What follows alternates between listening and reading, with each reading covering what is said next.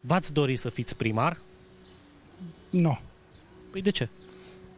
Pentru că cum sunt legile și cum merg oamenii în ziua de azi, nu e bine. Nu vezi că toți primarii, toată lumea are necazuri, toată lumea numai belele. Ce crezi tu că face toată ziua un primar?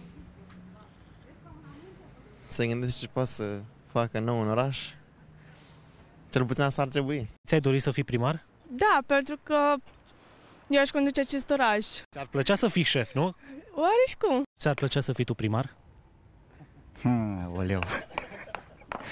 Aș sta numai în fotoliu.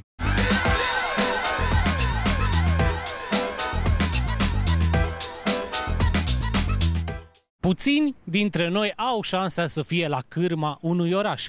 Mulți însă au spus cel puțin odată câte aș face dacă aș fi primar.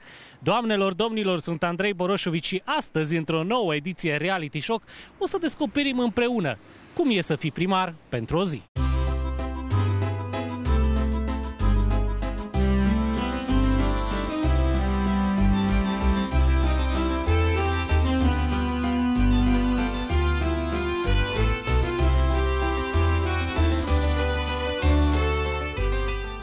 Bună dimineața, bună dimineața, domn primar. Vă salut. Așa începe ziua unui primar?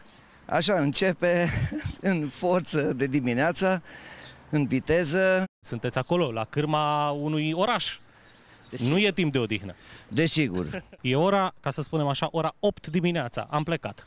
Da, plecăm. Primul obiectiv, vă spun care va fi? Unde mergem? Da, mergem la sala polivalentă. Acolo aveți o întâlnire sau? Da, acolo am o întâlnire cu cei care lucrează la realizarea sălii și de obicei este o întâlnire cu scântei pentru că sunt nemulțumit de ritmul în care s-a lucrat. Sigur că eu am înțeles toate dificultățile, am înțeles de unde provin ele, dar asta nu trebuie să mă facă să slăbesc presiunea asupra constructorilor. Ei trebuie să înțeleagă că trebuie să muncească. Telefonul roșu e pe aici? Telefonul roșu este aici, în dreapta mea. da. E roșu, da. Nu e roșu la culoare, dar e telefonul roșu, da. E- Deci există. Există, sigur.